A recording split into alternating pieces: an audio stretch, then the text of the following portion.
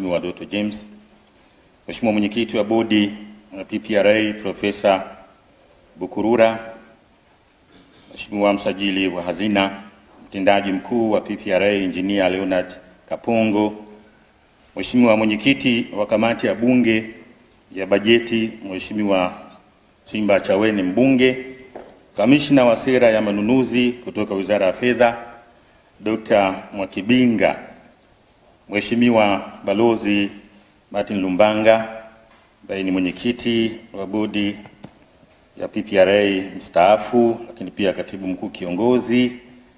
Napenda kutambua uwepo wa makatibu wakuu, manaibu makatibu wakuu, makatibu tawala wa mikoa, wenye viti na wajumbe wa bodi za wakurugenzi, wakuu wa taasisi mbalimbali, lakini waalikwa, mabibi na mabwana.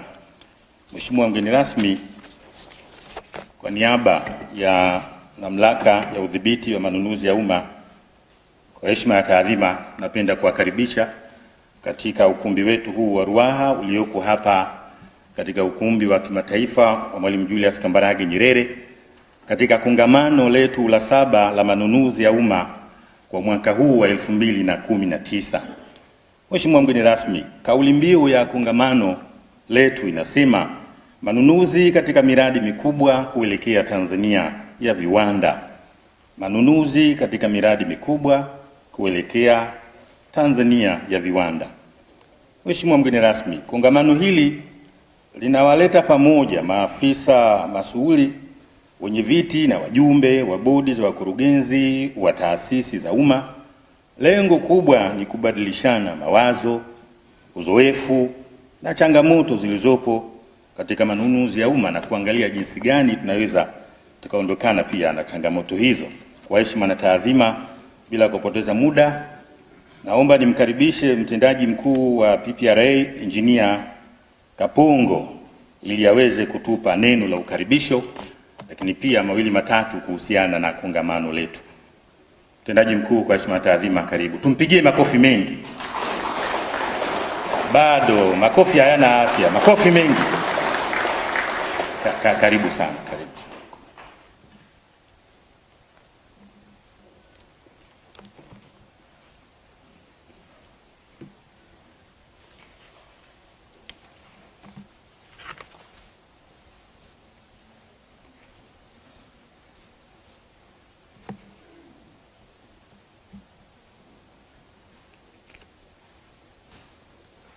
Mheshimiwa mgeni rasmi, Selemani Said Jafo, Waziri wa Nchi, Ofisi ya Rais, Tawala za Mikoa na Serikali za Mitaa, ndugu Doto James, Katibu Mkuu, Wizara ya Fedha na Mipango, Mheshimiwa Simba Chawene, Mwenyekiti Kamati ya Kudumu ya Bajeti ya Bunge, makatibu wakuu wa wizara mbalimbali mliopo hapa, kaimu mwenyekiti na wajumbe wa bodi ya PPRA, viongozi mbalimbali wa wizara ya fedha na mipango mliopo hapa, wenye viti na wajumbe wa bodi za wakurugenzi za taasisi za serikali mliopo hapa, viongozi mbalimbali wa serikali mliopo hapa, hususan makatibu wakuu marasi na kadhalika, wakuu wa taasisi za serikali mliopo hapa, management ya PPRA, ndugu washiriki wa kongamano, ndugu wageni waalikwa, ndugu wanahabari, mabibi na mabwana, habarini za asubuhi. Assalamu alaikum. Bwana Yesu asifiwe. Mheshimiwa mgeni rasmi, Awali ya yote napenda kumshukuru Mwenyezi Mungu kwa kutujalia uhai na afya njema na hivyo kutuwezesha kukutana mahali hapa hii leo. Napenda kukushukuru sana wewe binafsi kwa kukubali ombi letu na hivyo kutenga muda wako na kuja kuwa mgeni rasmi kwenye kongamano hili muhimu linalohusu manunuzi ya umma likiwahusisha makatibu wakuu wa wizara, wenye viti na wajumbe wa bodi za wakurugenzi za taasisi za umma na wakuu wa taasisi hizo pamoja na wenye viti, wajumbe wa bodi za wakurugenzi uh, za taasisi za umma. Tunafahamu unayo majukumu mengi na makubwa ya kitaifa, lakini kwa upendo mkubwa ulionao umekubali kujumuika nasi. Kwa hakika sisi kama PPRA tumefarijika sana. Pili, napenda kushukuru uongozi wa Wizara ya Fedha na Mipango chini ya waziri wetu e, Mheshimiwa Dr. Philip Mpango, Katibu Mkuu ndugu Doto James pamoja na viongozi wote wa wizara kwa kuruhusu kongamano hili lifanyike na huku wao pia wakishiriki kikamilifu pamoja na kuwa wana majukumu mengi ya kuwatumikia wananchi wa Tanzania. Tunawashukuruni sana viongozi wetu. Mheshimiwa mgeni rasmi, madhumuni ya kongamano hili ambalo sisi kama PPRA tumekuwa tukilifanya kila mwaka kwa takribani miaka saba sasa ni kupeana taarifa muhimu na kujadili mambo ya msingi yanayohusu manunuzi ya umma hususani uendeshaji na usimamizi wake, kupeana uzoefu, kujadili changamoto zilizopo na hatimaye kupendekeza njia nzuri za kutatua changamoto hizo. Fursa hii pia hutumika kuongeza ufahamu wa mifumo na nyenzo mbalimbali mbali, ambazo zinatakiwa kutumika katika kutekeleza shughuli za manunuzi ya umma kwa ufanisi. Mheshimiwa mgeni rasmi, kama ulivyokwisha sikia, kongamano la mwaka huu linabeba ujumbe unaosema manunuzi katika miradi mikubwa kuelekea Tanzania ya viwanda. Kongamano hili limegawanyika katika awamu kuu tatu kama ifuatavyo. Awamu ya kwanza inawahusu makatibu wakuu wa wizara, wajumbe wa bodi za wakurugenzi na wakuu wa taasisi za umma. Kwa maneno mengine, tunasema hili ni kwa ajili ya accounting officers, wajumbe na wenye viti wa bodi za wakurugenzi pamoja na wakuu wa taasisi, ambao wakuu wa taasisi ni sehemu ya accounting officer. Kongamano hili ndio limeanza leo hapa Dar es Salaam na litahitimishwa kesho hapa jijini Dar es Salaam. Awamu ya pili itawahusu wajumbe wa bodi za zabuni na watumishi kutoka vitengo vya manunuzi, ukaguzi wa ndani na idara tumizi, yani user departments. Kongamano hili litafanyika jijini Arusha kuanzia tarehe 24 hadi tarehe 26 Julai, na awamu ya tatu na ya mwisho hii itafanyika jijini Arusha pia kuanzia tarehe 29 hadi 30 ikiwalenga mamea e, wenye viti wa halmashauri na madiwani. Na Mheshimiwa mgeni rasmi, katika hili kongamano la tatu tumefanya majadiliano na Wizara ya TAMISEMI tukaelezwa kwamba uh, hawa waheshimiwa pia watakuwa na mkutano Mwanza kwa tarehe hizo hizo. Kwa hiyo tumefanya mabadiliko kidogo, badala ya kuwaleta Arusha, sisi tutawafuata Mwanza, na kwa maana hiyo tutakuwa tumepiga ndege wawili kwa jiwe moja na kwa maana hiyo hiyo itakuwa ni kuanzia tarehe ishirini na mbili hadi tarehe ishirini na nne Julai. Mheshimiwa mgeni rasmi, kama nilivyokwisha sema, kauli mbiu ya kongamano hili la mwaka huu ni manunuzi katika miradi mikubwa kuelekea uchumi wa viwanda, yaani procurement in big projects towards industrialization. Tumechagua kauli mbiu hii kutokana na kasi ya serikali ya awamu ya tano chini ya utawala wa Mheshimiwa uh, rais wetu Dr. John Pombe Joseph Magufuli ambayo imejipambanua kwa dhamira yake ya kujenga uchumi wa viwanda. Sisi katika PPRA tunaamini kuwa tutaufikia uchumi huo iwapo manunuzi yanayofanyika katika miradi mikubwa yatakuwa na tija, hivyo kupata thamani bora ya fedha, yaani best value for money ambayo inapatikana kwa kuzingatia matakwa ya sheria ya manunuzi. Mheshimiwa mgeni rasmi, majukumu ya PPRA yameainishwa katika sheria ya manunuzi ya umma sura ya mia- mia mia nne na kumi ambayo kimsingi ni kusimamia utekelezaji wa sheria hii katika taasisi zote za umma nchini.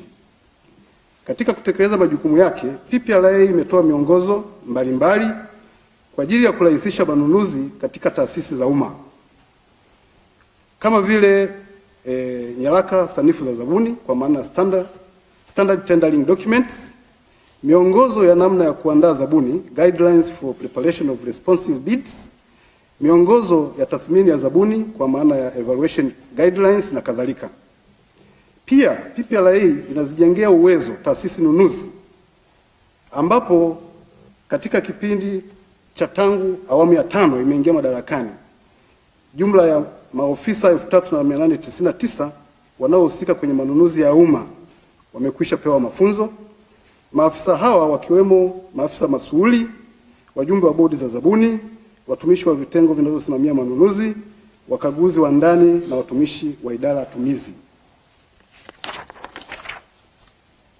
Mheshimiwa mgeni rasmi, PPRA katika kutekeleza majukumu yake inafanya kaguzi kila mwaka kutathmini kiwango cha uzingatiaji wa sheria au ukizi wa matakwa ya sheria kwa manunuzi yanayofanywa na taasisi za umma. Tangu kuanza kwa shughuli za ukaguzi kwenye manunuzi ya umma, kiwango cha uzingatiaji wa sheria ya manunuzi ya umma kimekuwa kikiongezeka mwaka hadi mwaka. Ukaguzi wa mwaka ukaguzi wa kwanza wa kutathmini ukizi wa sheria ulifanyika mwaka 2006 2007 ambapo wastani wa ukizi wa sheria ulikuwa asilimia 39. Kwa sasa hivi tunavyoongea, Mheshimiwa mgeni rasmi, wastani wa ukizi wa sheria umefikia asilimia 74, na hii ni kutokana na ukaguzi uliofanyika katika mwaka wa fedha wa 2017-18. Kwa hakika haya ni matokeo ya kazi nzuri ya awamu ya tano ya serikali inayoongozwa na Mheshimiwa Rais Dr. John Pombe Joseph Magufuli. Mheshimiwa mgeni rasmi, vile vile PPRA imekuwa ikifanya chunguzi maalum ili kubaini ukiukwaji wa taratibu za manunuzi. Katika kipindi hicho hicho nilichokizungumzia, PPRA imesaidia serikali kuokoa takriban shilingi bilioni 46.9 ambazo kusema ukweli zingepotea kutokana na kutofuatwa kwa taratibu za manunuzi na usimamizi wa mikataba kwa mujibu wa sheria ya manunuzi ya umma. Fedha zilizokolewa ni kutokana na kuwepo kwa malipo yaliyolipwa kwa wakandarasi na watoa huduma kinyume na utaratibu, na hivyo taasisi hizo zikaelekezwa kurejesha fedha hizo. Mheshimiwa mgeni rasmi, PPRA ilianzisha mfumo wa kukusanya na kusambaza taarifa za manunuzi ya umma unaojulikana kama PMIS kwa maana ya Procurement Management Information System ambapo mpaka sasa unatumiwa na taasisi 462 kati ya taasisi 540 za umma na hii ni sawa na asilimia 86 ya taasisi zote nchini. Aidha, katika kuboresha zaidi mfumo wa manunuzi ya umma kwa kutumia teknolojia ya habari na mawasiliano, PPRA kwa kushirikiana na ofisi ya Rais Utumishi imeandaa mfumo wa manunuzi kwa njia ya mtandao, yaani e-procurement, ambapo ulianza kutumika kwa majaribio kwa taasisi sabini na moja na hii ililenga zaidi manunuzi ya bidhaa na huduma mtambuka katika mwaka wa fedha wa 2018-19. Mfumo huu unaotarajiwa kuanza kutumika kikamilifu katika mwaka huu wa fedha tayari umeunganishwa na mfumo na mifumo mingine ya elektroniki ya serikali ukiwemo mfumo wa malipo ya serikali yaani GEPG. Mheshimiwa mgeni rasmi, PPRA pia inaendelea kutoa mafunzo kwa wazabuni na taasisi nunuzi ili kuwezesha mfumo huu kutumika kwa taasisi zote za umma nchini kwa ufanisi.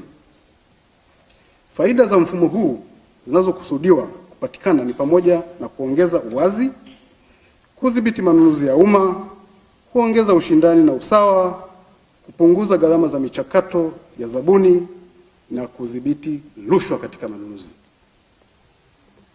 Mheshimiwa mgeni rasmi, nipende tu kusema kwamba pamoja na mafanikio hayo, Kusema ukweli, tunaishukuru wizara kwa miongozo mbalimbali ambayo imekuwa ikitupa e, kila mara na kutusaidia kutatua changamoto mbalimbali zinazotukabili. Hata hivyo, nitumia nafasi hii kuzisema changamoto chache ambazo kusema ukweli bado kama mamlaka zinatukabili. Kwanza tunasema kuna baadhi ya taasisi za umma kusema ukweli hazitaki kutoa ushirikiano kwa PPRA wakati wa zoezi la ukaguzi. Pili, tunasema baadhi ya taasisi haziwasilishi PPRA ripoti na taarifa mbalimbali za zabuni kwa wakati, kwa sababu kwa mujibu wa matakwa ya sheria taasisi hizi zinawajibika kutuletea taarifa kwa wakati.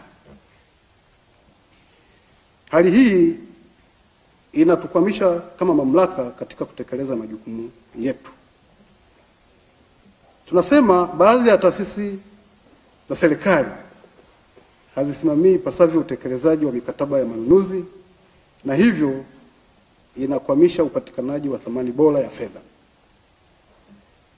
Changamoto nyingine tunasema tuna ukosefu wa msawazisho wa huduma na huduma zinazotumiwa serikalini. Hali hii inasababisha tofauti ya bei na ubora kwa bidhaa na huduma za aina moja. Changamoto nyingine, Mheshimiwa ndugu mgeni rasmi, ni kiwango cha weledi na kukosekana kwa uadilifu miongoni mwa watumishi wa umma na wazabuni na hivyo kuzuia upatikanaji wa thamani bora ya fedha.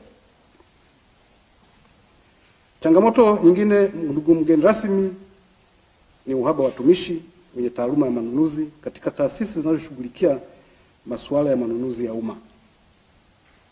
Na hii kusema ukweli, tunasema inaanzia ngazi ya usimamizi wa manunuzi yenyewe hadi utekelezaji, hivyo kuathiri utendaji wa taasisi husika kwa maana ya taasisi nunuzi. Changamoto nyingine, ndugu mgeni rasmi, ni ufanisi mdogo kwa baadhi ya taasisi za serikali katika kuendesha michakato ya zabuni na hivyo kusababisha ongezeko la gharama na muda katika utekelezaji wa miradi. Pia katika utekelezaji wa kazi zetu tumegundua kuna changamoto kwa baadhi ya watumishi wa umma na wazabuni kutokuwa na uelewa wa kutosha wa sheria ya manunuzi ya umma, hivyo kushinda kushindwa kufanya uamuzi sahihi katika michakato ya manunuzi. Na mwisho tunasema tumebaini kwamba kuna matumizi yasiyoridhisha ya mifumo ya PPRA. Hii inaathiri ufuatiliaji wa shughuli za manunuzi ya taasisi husika. Mheshimiwa mgeni rasmi,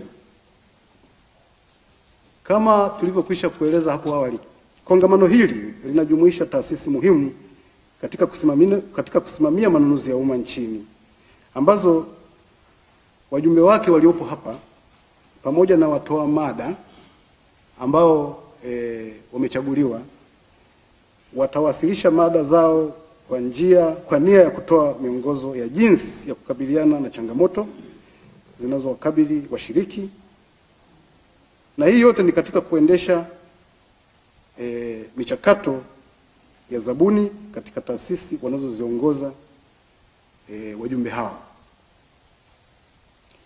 Taasisi zitakazowasilisha mada ni pamoja na Wizara ya Fedha na Mipango kupitia divisheni ya sera ya ununuzi wa umma. PPRA pia tutatoa mada.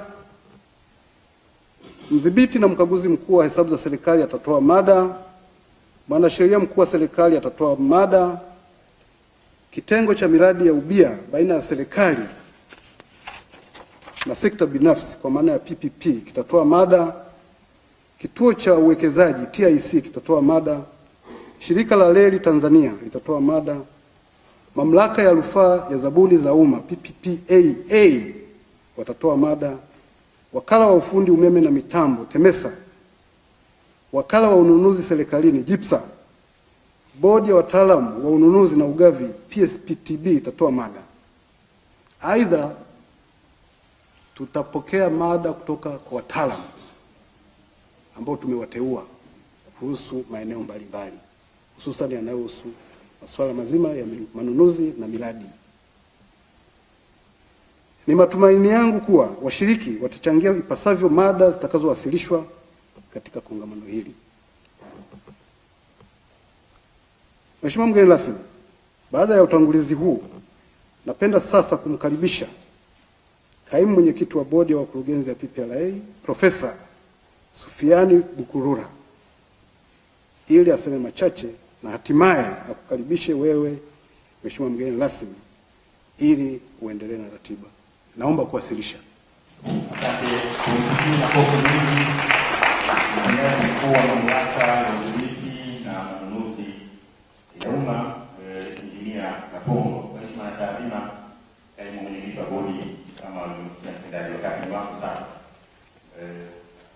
Profesa Gurura. washiriki wana hamu ya kukusikia, lakini pia kwa nafasi yako utakapomaliza wewe sasa utamkaribisha mheshimiwa. Karibu sana. Asante.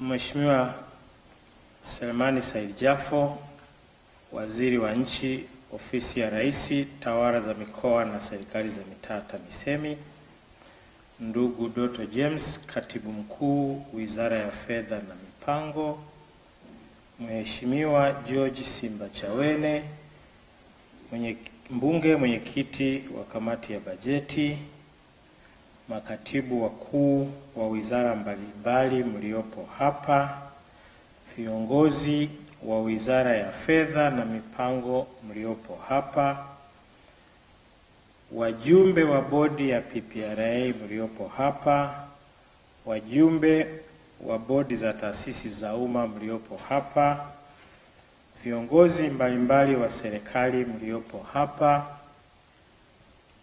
afisa mtendaji mkuu wa mamlaka ya PPRA,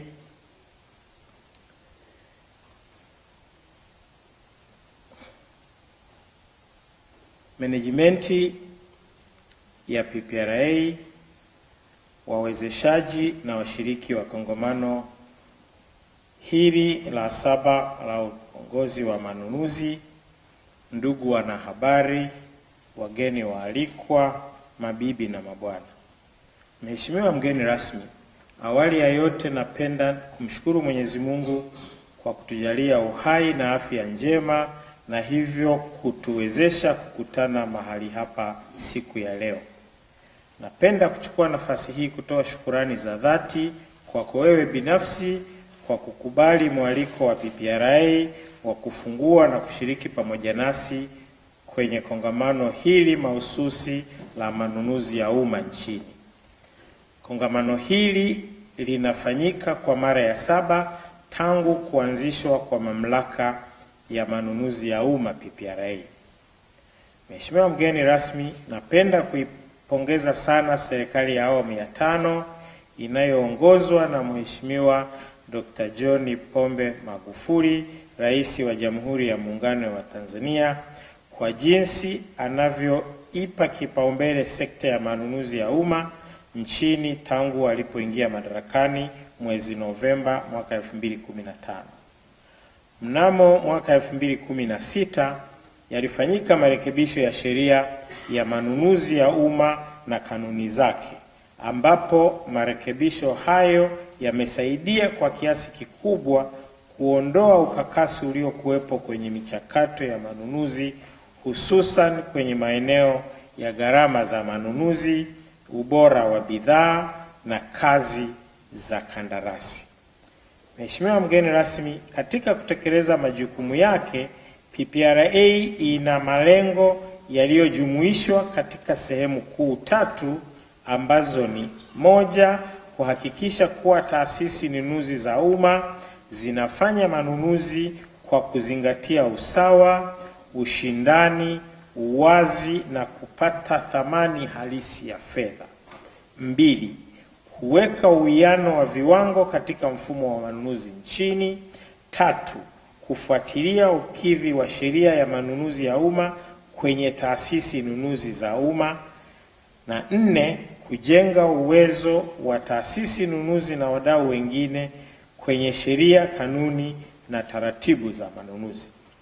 Mheshimiwa mgeni rasmi, pamoja na changamoto za sekta ya manunuzi zilizotajwa na mtendaji mkuu wa PPRA, mamlaka inakabiliwa na changamoto mbalimbali za ndani ya taasisi ambazo ni muhimu kutumia nafasi hii ya ugeni wako kuzitaja ili zifahamu na tujaribu namna ya kusaidia kuzitatua.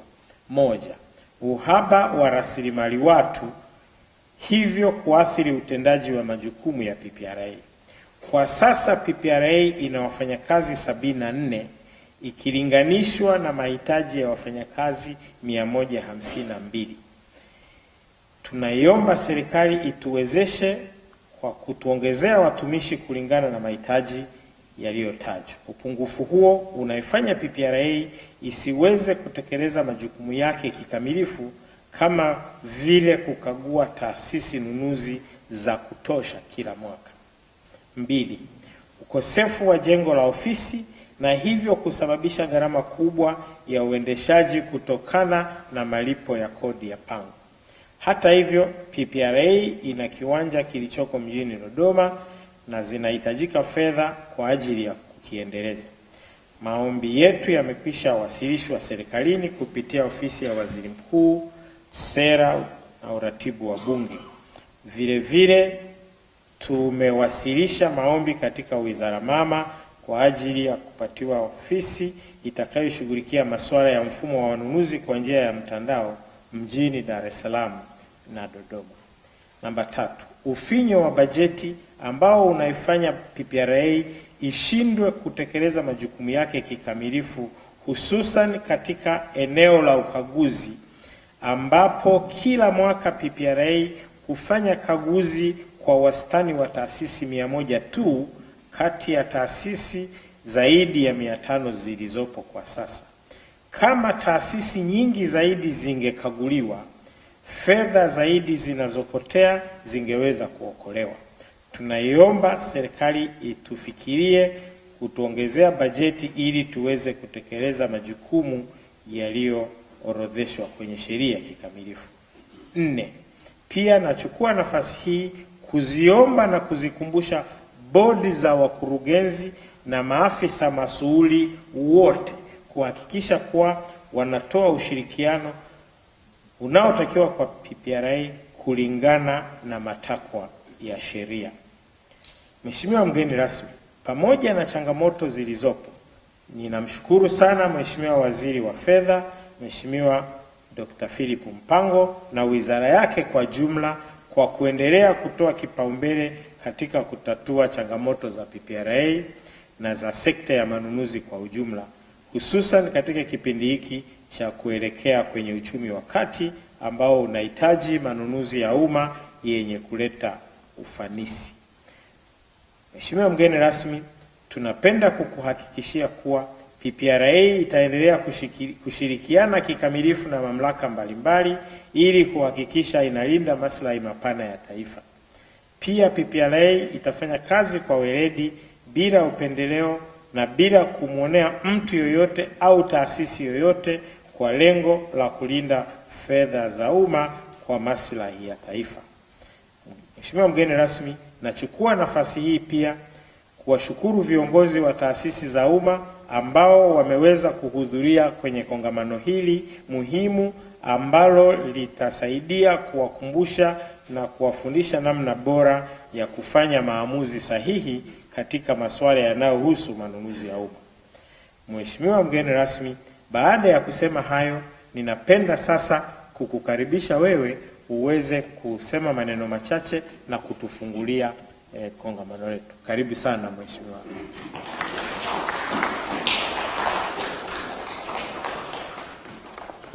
Mheshimiwa Waziri, samahani kidogo kwa heshima na taadhima, maana leo viongozi hapa mmekuja katika shughuli hasa. Mimi nikuombe Mheshimiwa Katibu Mkuu Wizara ya Fedha, wewe ndio unaotoa fedha na hawa ndio wanaosimamia, kwa heshima na taadhima, tukusikie dakika moja tu. Asante sana Mheshimiwa.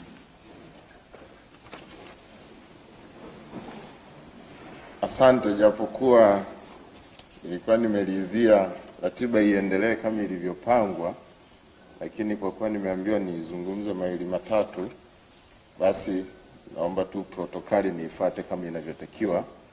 Mheshimiwa mgeni rasmi eh, Waziri TAMISEMI, Mheshimiwa Simba Chawene eh, mwenyekiti wa kamati ya bajeti eh, mzee wangu Dr. Lumbanga eh, mwenyekiti mstaafu eh, PPRA, kaimu mwenyekiti e, wa bodi PPRA, e, mtendaji mkuu PPRA Injinia Kapongo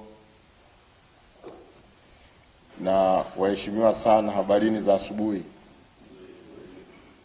Kama ambavyo mmejulishwa, sikuwa nimejipanga kuzungumza sana, isipokuwa tu kwa niaba ya Wizara ya Fedha na Mipango na kwa niaba ya Waziri wa Wizara ya Fedha na Mipango ambaye angelipenda leo awepo, ila yupo safarini Marekani, na tunashukuru kwa ujio wa mgeni rasmi Waziri Jafo kwa kuitikia wito huu. Tunakushukuru sana, alikuwa safari ya mbali, lakini amejitahidi, ameweza kuungana na sisi. Mheshimiwa Waziri, tunakushukuru sana. Kama mtendaji mkuu ambavyo amepitia eh, kuzungumza kwenye hotuba yake, mengi ameyasema, na mimi nita eh, ni- ni- ni- ni- ninakubaliana na hayo yote ambayo eh, ameyazungumza hapa na changamoto ambazo wanakabiliana nazo PPRA kwa ujumla wake, na mwenyekiti amejaribu kuzigusia pia, tunazifahamu kama wizara, na baadhi ya changamoto hizo tulishaanza kuzifanyia kazi siku nyingi. Nakumbuka mimi nikiwa eh, nafanya kazi na mtendaji mkuu PPRA aliyemaliza muda wake kipindi hicho, tulijitahidi sana hata kuwaongezea bajeti yao wala waweze kukizi mahitaji yao, lakini kama mnavyofahamu, siku zote serikali yenu inakuwa haina bajeti za kutosha, lakini tunazigawana hivyo hivyo. Kwa kuwa sisi huyu anakuwa ni mtoto wetu ndani ya wizara, tulifanya upendeleo wa aina yake, tukawaongezea bajeti zao, na hilo nafikiri wanalifahamu. Lakini haiishii tu hapo. Ni kweli kabisa, ukiangalia kaguzi wanazozifanya ni bado bado sana, na hela hizi ambazo wameziokoa, nashukuru bilioni arobaini na kitu plus kwa kaguzi chache tu walizozifanya, unaweza ukaona wakienda zaidi na zaidi, hela nyingi ita, itaokolewa. Wito wangu eh, kwa miradi hasa hii mikubwa eh, nisiache hata na ile miradi midogo midogo ile. Ni inasikitisha pale tunapokwenda kufanya kaguzi unakutana na vitu e, vingi. Tulitegemea tukifanya kaguzi tukute asilimia nyingi sana mambo yako vizuri kuliko ambavyo huwa tunakuta e, mapungufu mengi e, mengine ni criminal kabisa, watu wanachukuliwa hatua. Ni vitu ambavyo vinasikitisha sana. Ni wito wetu kama Wizara ya Fedha na Mipango ambao ni jukumu letu la msingi kuhakikisha tunasimamia rasilimali fedha za serikali zitumike vizuri kwenye miradi hasa hii mikubwa. Na sasa hivi tumekuwa wakali e, na wakati mwingine tunashirikiana na PPRA pale wanapokuwa hawana nguvu ya kifedha, wizara tutakuwa tunaingilia kati kuwawezesha, ili mradi tu kaguzi zifanyike pale tunapoona kuna viashiria ambavyo haviko sawa sawa. Kwa hiyo tutaendelea kufanya hivyo, pamoja na kwamba bajeti yao haitoshi, lakini wizara ya fedha itakuwa inaingilia kati pale tunapoona kuna haja ya kwenda kufanya hizo kaguzi ili kuweza kuokoa fedha za serikali. Kwa hiyo niliona tu nigusie maeneo hayo na kuwakumbusha tu kuwa serikali ipo pamoja na PPRA kuhakikisha e, ile thamani ya fedha kwenye miradi hasa hii mikubwa na bila kuacha hata ile miradi mingine midogo midogo na maeneo mengine yote yanayofanana na hayo, thamani ya fedha lazima ionekane. Tunaimba wimbo ule ule na Mheshimiwa Rais alishatamka hadharani kuwa kula hela ya- umma sasa hivi ni kama ni kama kula sumu. Hi- hi- Hilo lipo na tutaendelea kuzingatia, na mengine mengi yanaendelea ambayo mwezi hamwezi mkayajua, yanafanyika siku hadi siku. Lengo ni kufuatia na kuhakikisha rasilimali fedha hii ambayo ni kidogo sana kwa nchi yetu inatumika vizuri. Mfumo huu ambao ameusema hapa mwenyekiti, ambao sisi tumesema e, tutawasaidia pia, maana hawana bajeti. Tumeshaanza kutoa elimu kwa baadhi ya taasisi chache tu, na tuliwaelekeza tangu mwaka juzi. Kipindi hicho mwenyekiti mzee Lumbanga alielekezwa na Mheshimiwa Waziri wa Fedha na Mipango alipokuwa akiwasilisha taarifa yake kule Dodoma, wahakikishe mfumo ule wa manunuzi ya wanaita e-procurement unakuwa wana roll out nchi nzima na uanze kutumika e, ndani ya muda wa mwaka mmoja ule uliopita. Ni bahati mbaya mpaka sasa hivi mfumo huu bado haujaanza kutumika kama ambavyo tulikuwa tumepanga, na nisiwasingizie, ni ile rasilimali fedha walikuwa hawana uwezeshwaji, na sisi tayari tumeshasema tutawawezesha na tumeshaona maombi yao, ili mfumo huu sasa wa rollout nchi nzima. Ni mfumo mzuri, ni mfumo mzuri, utatuondolea sana urasimu, lakini kutakuwa na uwazi na mfumo huu unafahamika. Mambo mengi sana e, tuende kuyatatua. Kwa hiyo wizara kama wizara, kwa kuwa ndo sisi waangaliaji wa hizo rasilimali fedha e, tutawawezesha ili huu mfumo ndani ya muda mfupi sana uanze kufanya kazi. Niliahidiwa na CEO tukiwawezesha haraka ndani ya miezi mitatu mfumo utakuwa umeshaanza kufanya kazi. Kwa hiyo hili tutalifanyia kazi kadiri itakavyo, mapema itakavyowezekana. Kwa machache hayo, kwa machache hayo, naomba sasa Mheshimiwa Waziri nikukaribishe ili uweze kuzungumza na hadhara iliyoko mbele yako hapa. Asante sana. Asante, naomba taarifa tupige makofi kwa ajili ya jengo rasmi. Haya, sasa tukae. Mheshimiwa Waziri, karibu. Asante. Ndugu Dr. James, Katibu Mkuu Wizara ya Fedha na Mipango, Mwenyekiti wetu wa Kamati ya Kudumu ya Bunge kakangu Simba Chawene, mbunge wa Kibakwe mkoani Dodoma ambao makao makuu ya nchi yetu ndio ilipo, kaimu mwenyekiti na wajumbe wote wa bodi ya PPRA, mtendaji mkuu wa taasisi yetu ya PPRA, lakini bila kusahau makatibu wakuu wote na manaibu, na manaibu katibu wakuu wa wizara mbalimbali, watendaji kuu wa taasisi na mashirika mbalimbali mliopo hapa. Nafahamu uwepo wa marasi kutoka mikoa yetu. Nimemwona rasi wa Tanga pale, watu wasimama fahamu kama ndio rasi kutoka Tanga eh.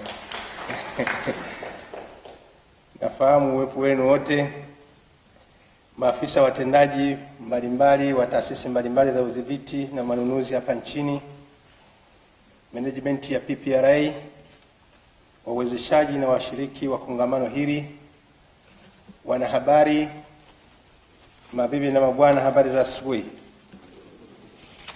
Awali ya yote binafsi kwanza napenda sana kumshukuru Mwenyezi Mungu kwa kuniwezesha nami kuweza kuwa nanyi katika asubuhi yetu ya leo, lakini katika jambo kubwa sana. Katibu mkuu wetu hapa alikuwa anazungumza, kweli nilikuwa mbali kidogo, nilikuwa kule mkoani Simiyu, lakini namshukuru Mwenyezi Mungu ameniwezesha nimeweza kufika hapa kuwa nanyi. Kwa hiyo nimshukuru sana Mwenyezi Mungu kwa sababu vyombo vya usafiri vina changamoto yake kubwa. Lakini mpongeze sana waziri wa fedha na mipango, dada yangu kakangu Filipo Mpango kwa kwanza kwa jambo hili liko katika ofisi yake na kuliratibu vizuri, lakini pia kwa kuhakikisha kwamba pia PRA leo hii mnafanya kongamano lenu la saba. Hii ni fursa kubwa sana kwa wadau mbalimbali ambao mtakutana hapa. Nimeambiwa kwamba ni leo na kesho. Lengo kubwa ni kubadilishana mawazo kwa undani, kwa lengo kubwa kwamba jinsi gani tunafanya kulisaidia taifa letu hili letu kusonga mbele. Lakini mshukuru sana mwenyekiti wa kamati ya bajeti hapa, kamati ya bunge kakangu Comrade Simba Chawene, ambayo haya manunuzi tunayoyajadili hapa kuyawekea mikakati, kamati yake ya bunge ina steki kubwa sana ya kuhakikisha kama michakato ya bajeti kwanza inakamilika na mwisho wa siku ni kwamba tunaenda kufanya manunuzi. na nikitambua wazi kwamba siku chache tulizopita tumeweza kukamilisha au kuhitimisha bunge letu la bajeti, ambao yeye alikuwa ni msimamizi mkubwa sana katika upande wa bunge, katika upande wa bajeti. Tunashukuru sana ndugu yetu Simba Chawene kwa kazi kubwa mlioifanya pale, lakini niwashukuru sana bodi ya wakurugenzi kwa kuandaa kongamano hili, lakini pia management na watendaji wote wa PPRA ambao mimi imani yangu ni jambo hili ni jambo muhimu, ni jambo kubwa ambalo litatuwezesha kwa pamoja tuweze kubadilishana mawazo, na kama nilivyoambiwa na mtendaji mkuu, hali kadhalika na mwenyekiti, ya kwamba kongamano hili lengo lake kubwa, jambo la kwanza ni kubadilishana uzoefu kwa yale ambayo tunayafanya katika maeneo yetu, manake tutapata success story huko na changamoto mbalimbali na ufumbuzi mbalimbali wa changamoto ambayo taasisi moja ama taasisi nyingine imeweza kukabiliana nazo, lakini hali kadhalika kupata majawabu ya kukabiliana na changamoto hizo. Kwa hiyo mimi naamini forum hii yetu ya siku mbili ya leo na kesho itatusaidia sana kubadilishana uzoefu katika maeneo hayo mbalimbali, lakini nifahamu wazi kwamba ama niwafahamishe wajumbe kwamba swala la manunuzi ni swala muhimu sana, na serikali inapowasilisha bajeti yake kila mwaka, ukiangalia fedha nyingi sana ambazo mara baada ya kupitishwa bajeti, fedha nyingi sana zinaenda katika manunuzi. Maana yake kama kuna kosa usimamizi mzuri na kufuata taratibu, sheria na kanuni, inawezekana hata kama tukifanya uwekezaji wa fedha kiasi gani, lakini pale inapobainika hakuna usimamizi mzuri katika sehemu ya manunuzi, na hii sio katika development budget peke yake hata katika recurrent expenditure ambayo nafahamu kwamba huko kuna manunuzi mengine yanafanyika. Endapo manunuzi yasipofanyika kwa kufuata utaratibu, maana yake inaweza likawa ni janga kubwa sana kwa taifa. Kwa hiyo imani yangu kwamba kongamano letu hili la saba ni kongamano muhimu sana kwetu sisi kama maafisa mashuhuri na wajumbe wa bodi za wakurugenzi wenye viti wenda wa, wa, wa taasisi mbalimbali kufahamu kwamba ajenda ya manunuzi katika nchi yetu ni ajenda ambayo tunatakiwa tuiangalie kwa jicho la karibu sana sana sana, na nifahamu kwamba sisi maafisa masuhuri na bodi za wakurugenzi ni dhahiri tuna jukumu kubwa sana. Kama taifa letu litafanya vibaya, na hasa kipindi hichi Mheshimiwa Rais ajenda yake kubwa kuweza kuwasaidia Watanzania, kama maafisa masuhuri na bodi za wakurugenzi zisipojielekeza vizuri katika swala zima la kusimamia utaratibu mzuri wa manunuzi kwa mujibu wa sheria, kanuni na taratibu, juhudi yote inayofanywa na Mheshimiwa Rais na serikali yake ya awamu ya tano inawezekana isipate mafanikio yale yanayokusudiwa. Lakini kilio cha Mtanzania mnyonge ambaye anatarajia matarajio kwamba serikali ya awamu ya tano ni serikali ya mabadiliko, na kama wananchi wenyewe walivyohitaji serikali ya awamu ya tano kuwa serikali ya mabadiliko, na ninyi maafisa masuhuri mnafahamu, hata mwaka elfu mbili na kumi na tano Watanzania wote walikuwa wanasema wanataka serikali yenye kuleta mabadiliko, na wengine walionyesha kwa ishara mbalimbali, fleva mbalimbali za hayo mabadiliko lakini mwisho wa siku ni kwamba Watanzania waliamua kumchagua Dr. John Pombe Joseph Magufuli, kwamba wakamwamini yeye kwamba ndo ataleta mabadiliko, na yeye serikali yake ikajielekeza katika ukusanyaji wa mapato, kuhakikisha fedha zinakusanywa vizuri na zinapelekewa zinaelekezwa katika miradi hiyo. Miradi kama haitofanyika manunuzi yanayokusudiwa, tutaweza kumwangusha Mheshimiwa Rais, lakini tutaweza kuwaangusha Watanzania waliotaka mabadiliko. Kwa hiyo sisi maafisa mashuhuri tuna kazi kubwa sana ya kufanya, na ndio maana katika forum hii, kongamano hili la siku mbili, niseme kwamba ni kongamano muhimu sana kwa mustakabali wa nchi yetu. Lakini tunafahamu wazi taarifa hapa iliyotoka kwa mtendaji mkuu wetu wa PPRA amezungumza wazi. Katika ufuatiliaji wa taasisi chache zilizokaguliwa zaidi ya shilingi bilioni 46.9 zimeokolewa. Katika taasisi chache sana, lakini naamini ukaguzi huo umefanyika chini ya asilimia 25 ya taasisi zote, huenda au chini ya asilimia 50, na hii ilikuwa ni kazi ya miaka miwili. Sasa endapo kama ukaguzi ungefanyika katika taasisi zote, ni fedha ngapi zingeweza kukaguliwa? Ina maana kwamba hapo inatuonyesha wazi kwamba bado kuna taasisi ama bado kuna watu mpaka leo hii bado wanafanya mambo yasiyoendana na maadili ya taifa letu, na hili ni baya zaidi, kwa sababu tunafahamu wazi fedha hizi zinazoenda katika manunuzi zinaenda kutoka, zinatokana zinakusanywa katika walipa kodi wa aina mbalimbali, wale wadogo na wakubwa, kama waliopewa dhamana ya kusimamia mchakato wa manunuzi. Endapo mchakato huo hauendi vizuri, maana yake tunawaangusha Watanzania. Ajenda kubwa hii maana yake ni nini? Maana yake tuna kazi kubwa ya kufanya katika swala zima la uadilifu. Bado kuna changamoto ya uadilifu, na ndio maana kongamano hili naomba mjadili kwa upana zaidi, tuwe wawazi, tubaini changamoto mbalimbali mbali katika ajenda ya manunuzi. Lakini shukuru sana, kauli mbiu yetu inasema manunuzi katika miradi mikubwa kuelekea uchumi wa viwanda na bahati nzuri katibu mkuu hapa wa Wizara ya Fedha na Mipango amesema sio miradi mikubwa peke yake, ni miradi yote. Amepanua goli. Ana maana gani? Na maana kwamba kuna miradi mingine ambayo moja kwa moja inawagusa wananchi.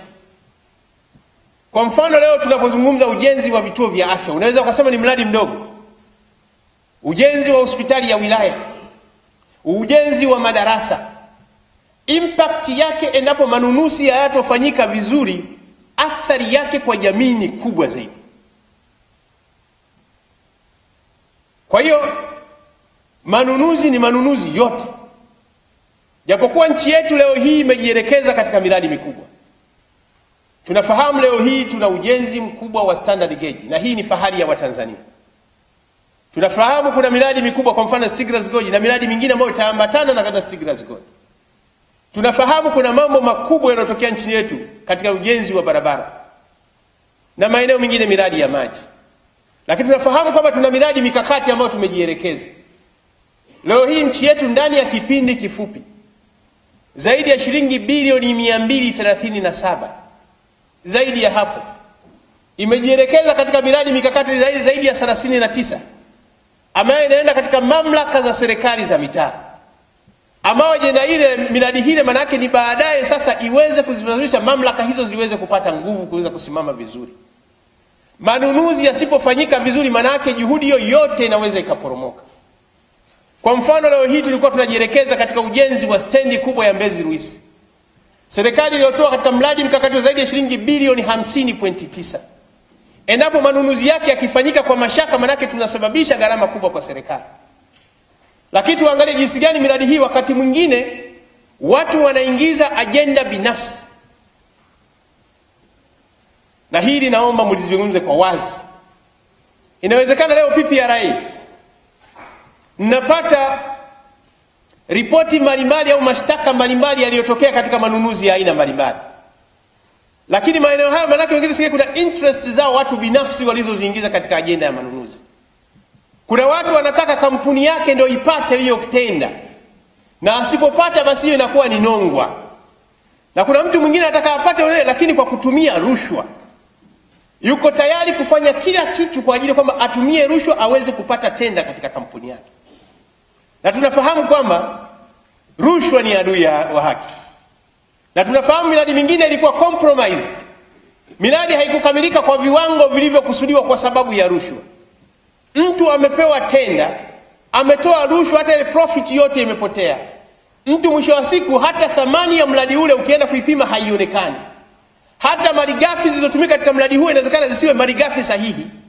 Mtu yuko tayari kuweka nondo kutoka katika vyuma chakavu, simenti mchanganyiko wake, sababu rushwa, consultant yuko pale ana compromise na mkandarasi.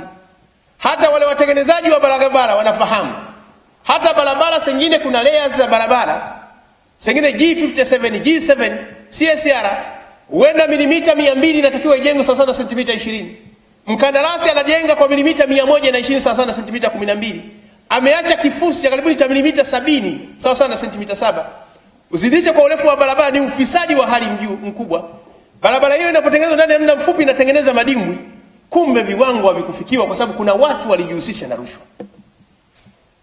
Kwa hiyo ajenda ya manunuzi ni ajenda pana sana, na hasa tunapokusudia kuliokoa taifa letu, hatuna sababu ya aina yoyote ya kuona aibu katika swala zima kukemea maneno yote, ma- maneno yote ambayo inaweza ikagharimu kuharibu mchakato wa manunuzi. Leo hii PPRA ambao mmepewa dhamana ya kutoa mafunzo, kufuatilia taratibu zozote, mnapoandaa kongamano hili la maafisa masuhuri, ni washukuru sana, mmefikiria mbali sana. Hongereni, Mungu awalipe katika hilo. Lakini hili tuna kila sababu, kwanza tufahamu ajenda ya Mheshimiwa Rais na mpaka mlipoamua kwamba kuunda mahakama ya mafisadi. Mahakama ya mafisadi hawapeleki watu wa kutoka hewani, hapana. Katika njia moja au nyingine, ni watu ambao wako katika mchakato wa manunuzi. Rais Dr. John Pombe Magufuli ameji, amejipambanua miongoni mwa marais, miongoni mwa, mwa, viongozi, sio Afrika peke yake na nje ya Afrika, kwamba ni kiongozi ambaye ni kwa dhati ya moyo wake anapambana na ufisadi, anapambana na rushwa. Naomba niwaombe ndugu zangu, sisi maafisa masuhuri na viongozi wote tuko tuungane kumsaidia Mheshimiwa Rais katika ajenda hii kubwa, na ndio maana niseme kongamano hili ni kongamano muhimu sana sana sana. Lakini shukuru sana, katika kongamano hili nimeambiwa kwamba taasisi mbalimbali limekuwa jumuishi kuhusisha taasisi mbalimbali, Wizara ya Fedha kama wizara mama kupitia division yake ya sera ya mambo ya mipango na manunuzi kule, lakini mkaguzi ofisi ya CAG imeshiriki humu ndani, ofisi zote za manunuzi, taasisi mbalimbali zote, taasisi yetu ya kupambana na rushwa naye imo ndani. Hakuna mdhibiti na mkaguzi mkuu wa hesabu za serikali, timu yake imo ndani. Jambo hili limekuwa ni jambo jumuishi sana. Imani yangu kwamba hili jambo litaleta tija kubwa, lakini washukuru sana PPRA kwa kipindi hichi kifupi, mmetoa mafunzo takribani kwa watu 3869 jambo hili ongereni sana. Hii ni miongoni mwa kazi yenu, hongereni sana kuifanya hii. Lakini maafisa masuhuri, twende mbali zaidi. Watu manunuzi wanaona kama ni kazi ambayo mtu yoyote anaweza akafanya. Mtu yoyote anaweza akaondoka dukani tu akafanya quotation akafanya hivi bila kutumia weredi. Ndio maana hata ile professionalism wakati mwingine inapotea, ni kwa sababu sehemu zingine maafisa hawa wanaohusikana na mambo ya manunuzi, wakati mwingine weredi unakuwa mdogo, na katika kuangalia watu wengine wanaita interest. Hata kama kuna afisa mzuri anasababi, anasimamia taratibu, sheria na kanuni, viongozi, inawezekana baadhi ya viongozi hapa wakampiga vita aondoke, kwa sababu anasimamia sheria, taratibu na kanuni. Accounting officer, sisi tuna jukumu sana kusimamia mienendo hiyo katika taasisi zetu. Mwisho wa siku ni kwamba kongamano hili ambalo tunalifanya hapa, ambayo ni kongamano la saba, liweze kuleta tija katika taasisi zetu. Lakini tufahamu kwamba nchi mbalimbali duniani hivi sasa zimeweza kutambua na kujielekeza kwamba ajenda manunuzi ni ajenda muhimu sana katika mustakabali wa nchi yao, nchi zao. Na sisi Watanzania naomba tuwe miongoni mwao kama tunavyofanya sasa, kuona ajenda ya manunuzi ndio ajenda kipaumbele sana, lazima tuiangalie kwa karibu, kwa kuhakikisha kwamba tunafuata taratibu, sheria na kanuni.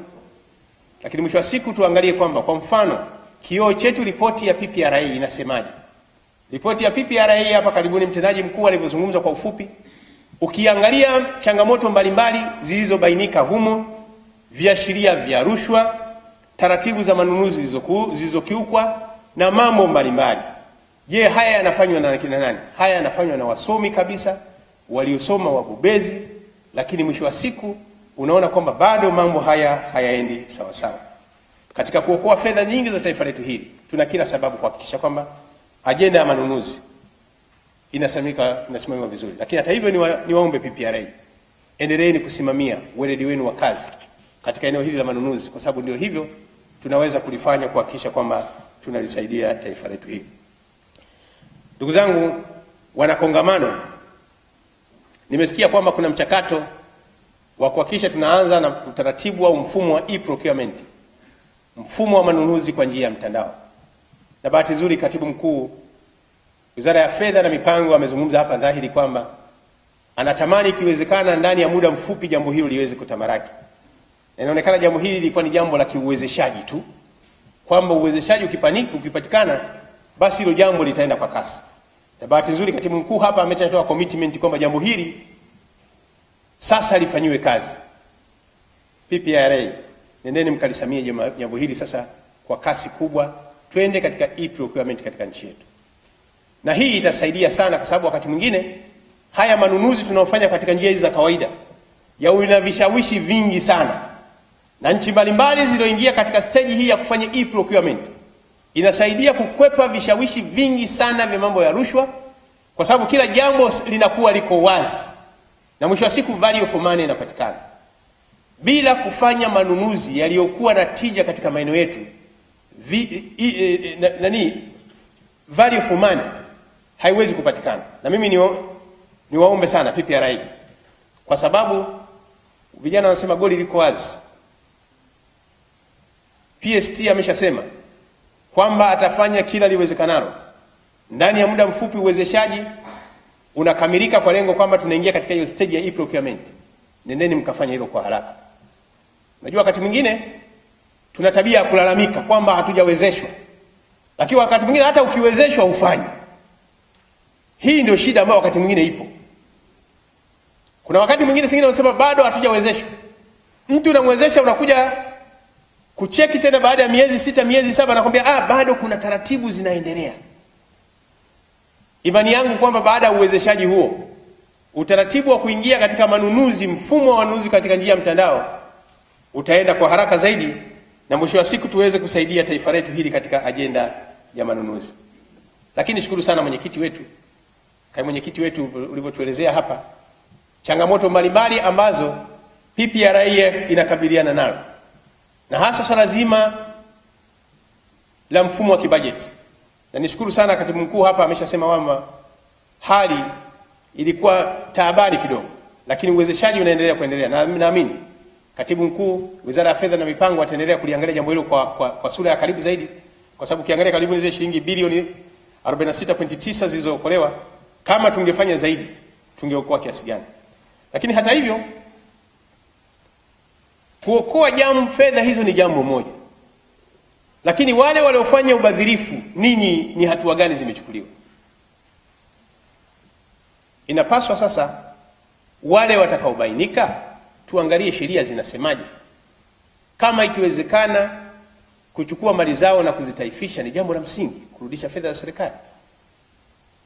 Kama kweli kuna watu walibainika dhahiri kabisa walifanya kwa makusudi katika ajenda ya manunuzi, kuokoa fedha ni jambo moja, lakini hatua nyingine ni jambo lingine. Tunapaswa kwamba kila chombo kiweze kuchukua, nafasi yake kuhakikisha kwamba ajenda ya manunuzi inakuwa ni ya nidhamu katika nchi yetu. Lakini kuna swala swala zima la majengo, niseme kwamba mimi niseme kwamba zile changamoto zote kaimu mwenyekiti uliozungumza hapa, mimi nazibeba, lakini nitafikisha kwa waziri wa fedha na mipango mwenye dhamana eneo hili. Lakini bahati nzuri mtendaji mkuu wa wizara ya fedha tayari ameshatoa commitment hiyo.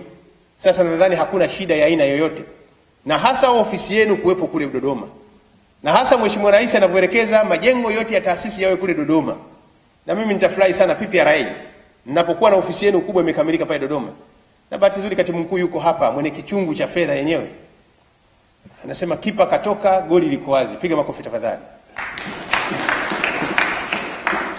Imani yangu nyinyi PPRA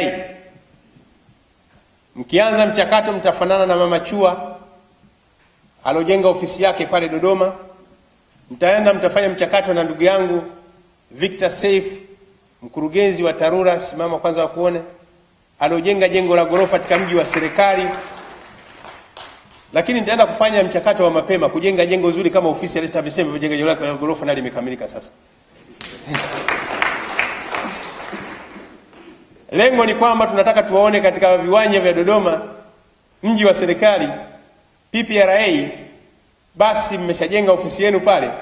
Hii itakuwa ni jambo zuri la kuungana na rais wetu Dr. Dr. John Pombe Joseph Magufuli kwa kusema kwamba serikali yake lazima ihamie Dodoma, na yeye mwenyewe ameshahamia Dodoma kwa serikali yake yote kwa ujumla wake. Basi naomba taasisi hizi zote kwa ujumla tuhakikishe kwamba na sisi hasa PPRA, najua shughuli zenu kubwa zinafanyika hapa Dar es Salaam, lakini sasa naamini kwa ajenda hii sasa mtashift kule Dodoma, na sio mbaya sana, kwa sababu wizara zingine walikuwa na majengo yao kule, hata sehemu ya kuanzia mkaomba zile ofisi zao za mwanzo waliokuwa wamejishikizia, mkaenda ofisi zenu kule Dodoma kwa haraka, kwa lengo kwamba kuweza kuwasaidia Watanzania. Ndugu zangu wana kongamano, ajenda kubwa ni value for money katika manunuzi. Imani yangu kubwa katika mjadala huu tutaufanya wa siku mbili wa kubadilishana mawazo na uzoefu. Lengo letu kwamba jinsi gani tunaenda kuangalia kwamba jinsi gani thamani ya pesa itaweza kupatikana katika miradi hii tunaenda kuifanyia ama tunaoifanyia kila siku, na hasa ajenda inayozungumza manunuzi katika miradi mikubwa kuelekea uchumi wa viwanda. Basi imani yangu kwamba jambo hili litaenda kufanyika vizuri, na bahati nzuri hapa mimi ofisini kwangu, bahati nzuri nina marasi hapa ambao nao kule wana halmashauri zao kule chini, lakini washukuru sana PPRA kuona kwamba tarehe 22 mpaka tarehe 24 tuna kikao cha alati kule Mwanza kufanya integration ya haya mambo kwa pamoja, kuyafanya kwamba sasa ajenda hii ipelekwe kule Mwanza. Niwashukuru sana kwa sababu naamini kule tutakutana na wakurugenzi wote wa mamlaka ya serikali za mitaa, tutakutana na mamea wote, tutakutana na wenye viti wa halmashauri na wale wa washauri as wa local government katika mikoa yetu ambao ninaamini katika vikao vyetu vile tunavyofanya kule Mwanza na ajenda hii itapokuwa ndani yake, tukimaliza mkutano wa Mwanza mwaka huu, mkutano wa ALAT utakuwa mkutano wenye faida kubwa sana, kwa sababu ajenda hii sasa itaenda kwa, kwa pamoja kuanzia serikali kuu huku na ukubwa wake na taasisi zake na hali kadhalika katika mamlaka serikali za mitaa. Niwashukuru sana kwa kuliona hili na niwapongeze sana ajenda hii iende vizuri. Ndugu zangu washiriki wa kongamano hili, mimi niwashukuru sana kwa sababu nimealikwa hapa kwa ajili ya kuweza kuwafungulia rasmi kongamano hili, na nishukuru sana kwa sababu nilivyokuwa ninasema hapa, naona watu wote wanasikiliza. Imani yangu kwamba ndani ya siku hizi mbili tutashiriki vizuri, na ninaamini hata ikiwezekana simu zetu tutaziweka katika mlio ule wa chini, na ninaamini kwamba hata ile kutoka toka katika kongamano hili itakuwa sasa kutapungua japo kuwa najua kwamba nina, nina dhamana kubwa sana katika maeneo yenu. Naomba tutumie siku hizi mbili kwa usikivu wa hali ya juu na michango ya hali ya juu, kwa lengo kubwa kwamba tukitoka hapa ndani ya siku mbili tuweze kutengeneza mustakabali mpya wa taifa letu, na hasa katika ajenda ya manunuzi. Imani yangu nitapokuja katika mkutano kongamano la nane, kongamano la nane, Mheshimiwa Mwenyekiti, ikiwezekana kwana mfanye tathmini ya kuona kwamba kongamano hili impact yake nini katika, katika, katika kipindi hichi. Je, nini kimejitokeza baada ya ripoti zenu za ukaguzi? Je, uelewa wa watu, je, ile utaratibu wa kufanya mambo yasiyokuwa sawasawa umebadilika? Imani yangu kongamano la nane litaanza na tathmini kwanza, kuona jinsi gani kongamano hili limeweza kuleta faida katika, ma, katika hali ya rahisi ya utendaji katika haswa katika swala zima la ajenda ya manunuzi. Lakini mwisho kabisa, imeonekana kwamba taas- taasisi nunuzi zimeshindwa mara nyingi sana kulipia ile ada ya matangazo. Kwa sababu mimi mmenipa fursa leo kuwa mgeni rasmi, mimi niagize tu kwamba wale ambao wanasuasua, ambao ukiangalia kwamba matangazo hayo mnayotoa katika magazeti mbalimbali, gharama inayolipa ni kubwa zaidi ukilinganisha hata hii taasisi wezeshi inayofanya kazi hii. Kalipeni gharama PPRA zile za matangazo, na hili mtendaji mkuu amelalamika hapa. Ukiona amelalamika, maana yake ni kwamba hali siyo shwari. Taasisi nyingi sana hazilipi. Baada ya matangazo yakishatangazwa, mtu amepotea moja kwa moja. Matangazo tunayatangaza kwa mujibu wa sheria ya mwaka 2011 ambayo iko kwa mujibu wa sheria, lakini inaonekana kwamba mtendaji mkuu amezungumza wazi kwamba watu hawalipi zile gharama. Niziagize taasisi zote, nendeni mkalipe hizo gharama, na ikiwezekana hili mtendaji mkuu, taasisi zisizolipa matangazo baada ya muda kama miezi sita, toeni orodha katika vyombo vya habari kwamba taasisi hizi zilipaswa kulipia matangazo PPRA, lakini kwa makusudi walishindwa kulipa kulipia matangazo. Wekeni katika gazeti moja la serikali, aidha Habari Leo au Daily News, mtendaji mkuu wa taasisi hiyo akijiona kwamba yeye ni miongoni mwa watu wanao violate sheria, nadhani itatusaidia katika kurudi katika nizamu ya kuheshimu sheria. Maana kutangazwa bwana kwamba wewe umeshindwa kuti- kutii sheria, ina maana ni makusudi tu. Naposema hapo, wengine nasema hapa sasa waziri kasema yote, lakini hapa kakosea, kwamba wewe umekuja hapa na tumeelezana haya wazi, alafu bado unaendelea kutulipia. Hili jambo sio jambo la sawasawa. Kila mtu ende akatii sheria. Utii wa sheria bila shuruti ni jambo la msingi sana. Lakini mwisho zaidi, tuendelee kumwombea rais wetu na kumwombea rais wetu kwa kazi kubwa anayofanya, lakini tuendelee kumwombea rais wetu na kumsaidia hasa kufanya yale mambo yanayokusudiwa yanayotakiwa kufanya, na hasa sisi wote kwa ukubwa wetu wote tumepewa dhamana na mheshimiwa rais, wote tuendele tukamsaidie mheshimiwa rais, tukafanye manunuzi yanayokidhi utaratibu wa sheria, kanuni na taratibu katika taasisi zetu. Baada ya kusema haya, sasa naomba nitamke rasmi sasa kongamano hili letu la saba la mambo ya manunuzi katika Jamhuri ya Muungano wa Tanzania linaokutanisha watendaji wakuu wa taasisi mbalimbali, makatibu wakuu, manaibu katibu wakuu, sasa nalizindua rasmi. Mungu ibariki Afrika, Mungu ibariki Tanzania. Asante sana kunisikiliza.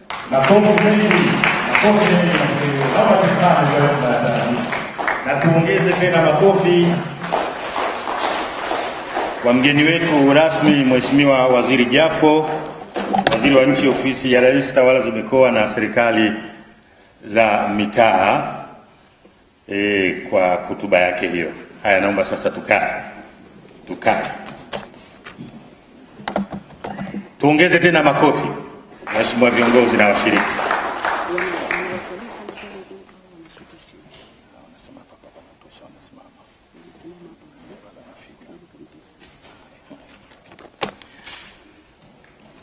Baadaye, baada ya tukio ambalo linafuata, tutamwomba Dr. Frederick Mwakibinga, kamishna wa sera ya manunuzi, tatua neno la shukurani kwa kazi nzuri ambayo ameifanya Mheshimiwa Waziri.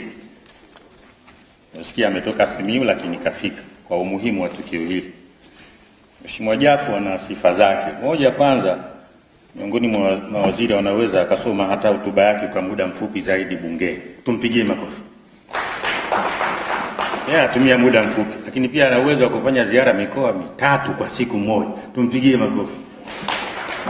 Eh, na ukiangalia kwenye taarifa habari unaweza kuona asubuhi huko Kilimanjaro, baadaye tena mkuta yuko Singida, jioni anamalizia Tabora. Zote unaziona. Wakofi tena. Lakini nyingine ndio hilo, kuwa makini tu wakati anapokwenda kukagua ile miradi, anakuwa mkali kweli katika maeneo ambayo yeye hajakubaliana nayo. Kwa hivyo tuna tunamshukuru kwa heshima na taadhima, Mheshimiwa mgeni rasmi. E, tukio ambalo linafuata sasa ni utoaji wa zawadi. Zawadi hizi ni vyeti kwa ajili ya taasisi mbalimbali ambazo zimefanya vizuri katika kuzingatia kwa umakini swala zima la manunuzi. Uh, kutokana na nafasi yetu inaruhusu hapo hapo tu nitawaomba tutasimama na wale ambao nitawataja wanaokuja kuchukua vyeti watapita upande ule, tapiana mikono na viongozi watatokea huku, ili wenzangu wapiga picha waweze kupata picha nzuri ya kumbukumbu. Kwa heshima na taadhima, uh, kuna, kuna makundi. Kundi la kwanza ni wale waliofanya vizuri kwa kuzingatia manunuzi katika kiwango cha zaidi ya shilingi bilioni ishirini. Wa kwanza ni Medical Stores Department. Makofi kwa heshima na taadhima. Naamini vyeti vimeshakuja eh? Haya, Medical Stores tuwapigie makofi. Ah, namuona mama anatangulia hapa na mtendaji mkuu yuko hapo, wapishe kidogo hapo eh, waanzie kule sawa sawa. Kundi hili ni wale ambao wamefanya manunuzi kwa kukidhi viwango na kufuata taratibu kwa thamani hiyo ya shilingi bilioni ishirini. Watafuatiwa na Tanzania National Parks, TANAPA. Nao tuwapigie makofi TANAPA. Hao wa kwanza ni Medical Stores, wa pili ni TANAPA, lakini sante watakaofuata ni Tanzania National Road Agency,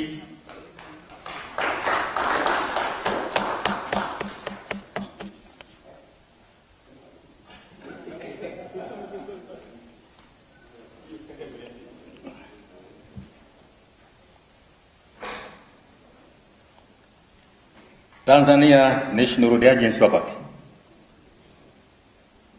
Huyu anakuja, tumpigie makofi.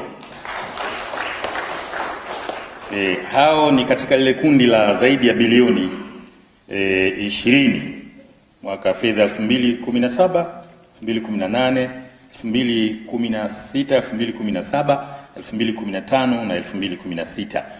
Kundi jingine, Mheshimiwa mgeni rasmi na waheshimiwa viongozi, ni wale ambao pia wamefanya vizuri, na hili tunaanza na Mpanda Town Council. Makofi kwao. Mpanda Town Council kama mpo, lakini wanafuatia Tanzania Agricultural Development Bank, benki ya maendeleo ya kilimo Tanzania. Haya, hao wanakuja, tuwapigie makofi. National Bureau of Statistics, watu wa takwimu hawa Dokta anakuona, makofi mengi. Katika kundi hilo pia kuna wenzetu wa Hai District Council kutoka Hai, Hai District Council kama mpo, lakini pia National Examinations Council of Tanzania, baraza la mitihani. Hakuna mwakilishi kutoka baraza la mitihani eh? Lakini pia kuna Wizara ya Fedha katika kundi hilo, mwakilishi kutoka Wizara ya Fedha naona hapo hapo meza kuu. Asante sana, nakushukuru. Lakini pia Moshi Municipal Council, manispaa ya Moshi katika kundi hilo, naona wa Moshi hamna. Tanzania Petroleum Development Corporation TPDC, TPDC hamna. Tunamaliza na Tanzania Social Action Fund kama wapo, kama hakuna tunaendelea. Mheshimiwa mgeni rasmi, kuna wengine mefanya vizuri katika kuzingatia masuala hayo hayo ya manunuzi, lakini wao kwa njia ya mtandao. Kwa kwanza eh. TBC, shirika la utangazaji Tanzania, lakini watafuatiwa na Brela, wazetu wa Brela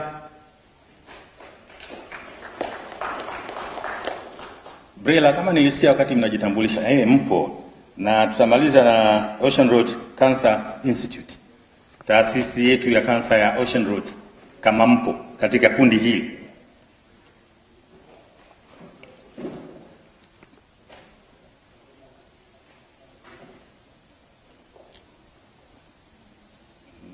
Ni Brela eh? Huyo TBC huyo BRELA. Asante sana. Kundi la mwisho, mheshimiwa mgeni rasmi, ni lile ambalo limefanya vizuri katika swala zima la capacity building, kuwajengea uwezo katika swala zima la manunuzi. Tunaanza na shirika la umeme nchini TANESCO. Makofi kwa TANESCO. Eh, eh, mkuu namuona hapo, lakini watafuatiwa na wizara ya sayansi, wizara ya elimu, sayansi na teknolojia, Ministry of Education, Science and Technology, wizara ya elimu kama mpo, na utamaliza na Kibaha Town Council, Kibaha Town Council.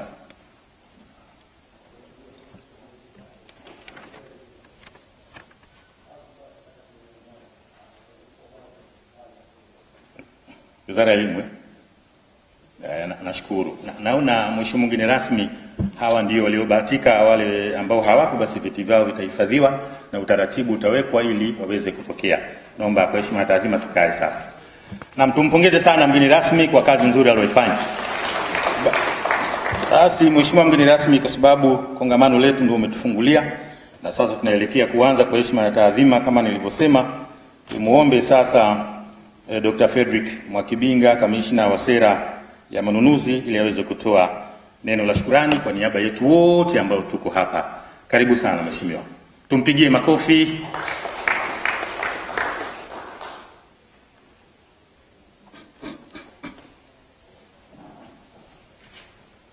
Mheshimiwa Suleiman Said Jafo, mbunge wa Kisarawe ambaye pia ni waziri wa nchi ofisi ya Rais, tawala za mikoa pamoja na serikali za mitaa. Mheshimiwa Doto James, katibu mkuu na mlipaji mkuu wa serikali. Mheshimiwa George Simba Chawene, mbunge wa Kibakwe ambaye pia ni mwenyekiti wa kamati ya bunge ya kudumu inayojihusisha na bajeti. Waheshimiwa makatibu wakuu, naibu makatibu wakuu, makatibu wa tawala za mikoa, waheshimiwa majaji mliopo hapa, Mheshimiwa Balozi Martin Lumbanga, katibu mkuu kiongozi, lakini pia ni mwenyekiti mstaafu wa bodi ya wakurugenzi ya PPRA, kaimu mwenyekiti na wajumbe wa bodi ya PPRA wenye viti na wajumbe wa bodi za wakurugenzi za taasisi mbalimbali mliopo hapa, viongozi mbalimbali mliopo hapa, wageni waalikwa, mabibi na mabwana, assalamu alaikum.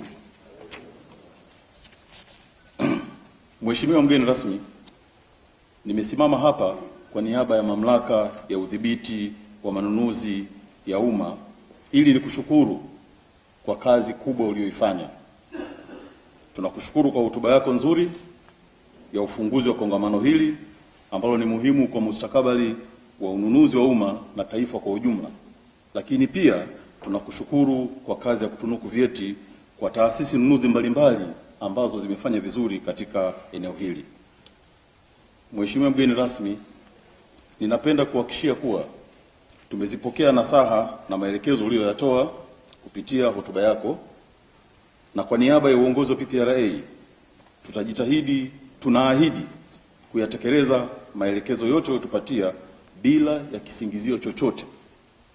Tunaahidi pia kuwasilisha kwako taarifa ya utekelezaji wa maelekezo yako. Mheshimiwa mgeni rasmi, pamoja na kukushukuru kwa kazi uliyoifanya hapo ukumbini, ninaomba kukukumbusha kutusaidia kukabiliana na changamoto tulizozitaja kupitia hotuba za mwenyekiti wa bodi na pia hotuba ya mtendaji mkuu. Kwa kufanya hivyo, utakuwa umeisaidia kwa kiasi kikubwa kufanikisha kufikiwa kwa malengo yaliyowekwa na PPRA ya kuhakikisha kwamba kiwango cha uzingatiwaji wa sheria za ununuzi wa umma sheria ya ununuzi wa umma sura mia nne na kumi kinaongezeka. Mheshimiwa mgeni rasmi, nafikiri haitakuwa sahihi nikiendelea kurudia rudia masuala yaliyowasilishwa na wasemaji waliopita. Itoshe tu kusema tunakushukuru tena kwa kukubali maombi yetu ya kuwa mgeni rasmi na pia tunakutakia kila la heri katika utekelezaji wa kazi zako za ujenzi wa taifa.